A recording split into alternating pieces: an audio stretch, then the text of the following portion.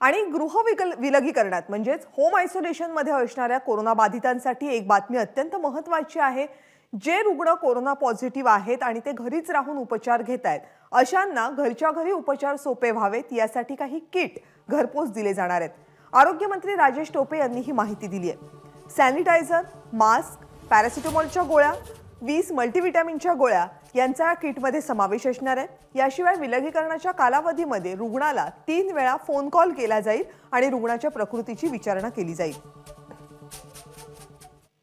आता आम्ही काय केलं आहे की कलेक्टर्सनी होम आयसोलेशन किट्स तयार केले पाहिजे. जे जे लोक होम आयसोलेटेड आहेत किंवा जे जे लोक आता पॉझिटिव्ह आहेत आणि घरी इलाज घेत आहेत तर त्यांच्यासाठी आम्ही वीस एम एलची सॅनिटायझर दहा मास्क माहिती पुस्तिका त्यानंतर दहा पॅरासिटेमॉलच्या टॅबलेट्स वीस मल्टीव्हिटॅमिनच्या टॅबलेट्स असं होम आयसोलेशन किट्स हे प्रत्येक घरी असणाऱ्या व्यक्तीला देण्याच्या दृष्टिकोनातून कलेक्टर्सला सूचना दिलेल्या आहेत. म्हणजे होम आयसोलेशन किट्स ज्याला म्हणता येईल त्या पद्धतीनं.